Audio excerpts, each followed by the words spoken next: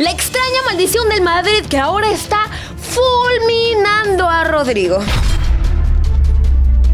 El brasileño está viviendo uno de sus peores momentos desde que llegó a Madrid. Al momento de grabar, el jugador registra solo un gol y una asistencia en 10 partidos esta temporada. Pero no son solo los registros los que nos preocupan. El jugador luce perdido fuera del campo, incapaz de irse de los rivales y sin la astucia para posicionarse y encontrar situaciones de peligro que hace no mucho lo convirtieron en un talismán para el Real Madrid. Es como si algo le estuviera haciendo daño, una especie de fuerza que está frenando su talento. Desde hace años hemos visto a grandes jugadores misteriosamente pasar por situaciones similares a las de Rodrigo.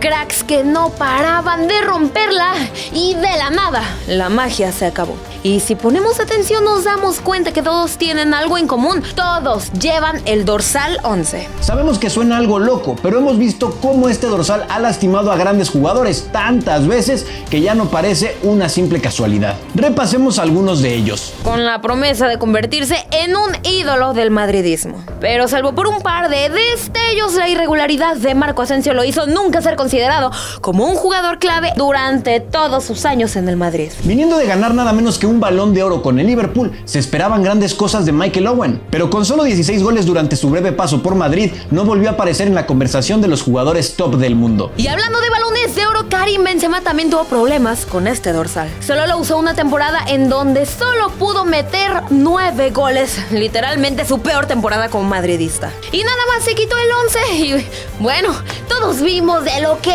era capaz de hacer el gato Benzema. Arjen Robben no paraba de regatear rivales a su antojo en la Premier, pero en Madrid el extremo neerlandés comenzó con una escalofriante racha de lesiones que no lo dejaron mostrar su talento. El extremo galés Gareth Bale le regaló momentos inolvidables al madridismo, pero entre sus lesiones y polémicas extra cancha, su recuerdo en el Real Madrid es algo controvertido.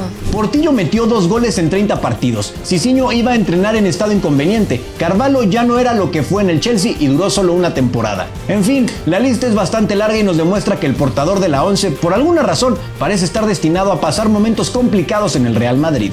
Y aquí es donde volvemos a Rodrigo, que desde que le heredó la 11 de Asensio, fue cuando inició su mal estado de forma. Pero a diferencia de otros jugadores en esta lista, la historia de Rodrigo con el 11 aún no ha terminado. En el pasado, Rodrigo nos ha demostrado que tiene talento de sobra para llegar a ser un jugador importante, capaz de brillar con luz propia en uno de los equipos con más talento en la élite del fútbol. Y tal vez pueda encontrar dentro de la clave para no convertirse en el elegido, que acabe de una vez por todas con la escalofriante maldición que atormenta al Real Madrid.